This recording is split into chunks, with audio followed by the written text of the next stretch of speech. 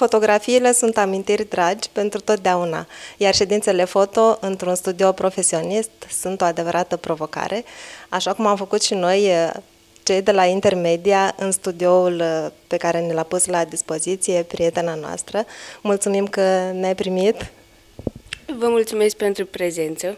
Echipa intermedie a vizitat studioul de Crăciun al Emei Motrescu din Suceava, decorat cu brazi împodobiți, dintre care unul realizat handmade, din stuf natural, cu șemineu, o căbănuță și o multitudine de decorațiuni de Crăciun, studioul ne-a găzduit echipa pentru amintire de neuitat. Acesta este, de fapt, scopul din spatele unor astfel de fotografii. Depășesc uh, barierele timpului și a spațiului și poate deveni un cadou uh, valoros și personal.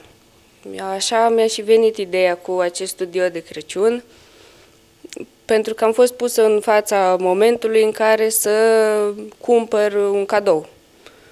Și mă gândeam, cum, oare ce cadou să fac? Aș vrea să fie ceva personal, să fie nu un obiect pe care îl, îl uităm undeva într-un sertar. Și m-am gândit că la mie mi-ar plăcea să primesc un, o ședință foto cadou. Așa că am uh, decis că de ce să nu ofer eu posibilitatea oamenilor să ofere un, uh, un cadou personal și valoros. Ce recomanzi pentru, pentru o ședință foto? Cum ar trebui să ne pregătim? În primul rând cu voie bună. În primul rând cu voie bună și de restul mă ocup eu. Și chiar așa a fost. Noi am mers cu bună dispoziție, Emma s-a ocupat de fotografii cu mult profesionalism și ne-am simțit ca acasă.